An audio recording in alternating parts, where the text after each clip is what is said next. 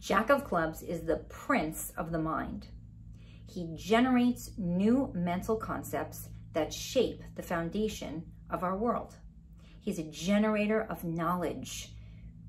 Clubs representing the mind, knowledge. He's very witty. He's a genius and an out-of-the-box thinker. He's very curious and super independent. Now, he can also get caught up thinking that he knows it all and giving unsolicited advice. But then he misses out on other people's perspectives and on really important life lessons.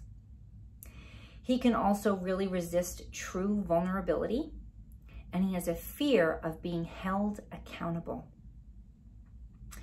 So on a Jack of Clubs day, it's important to be, you know, tuned into these energies and know that you might want to give unsolicited advice and others may want to give you unsolicited advice, right? That's learning from this energy pattern.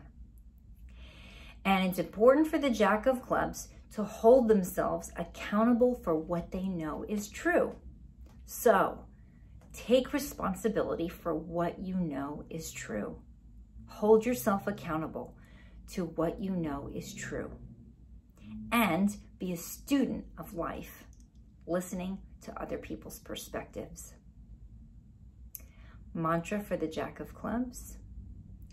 I humbly speak my truth, holding myself accountable to what I know is true. I humbly speak the truth, holding myself accountable to what I know is true. All right, Jack of Clubs, generating new knowledge.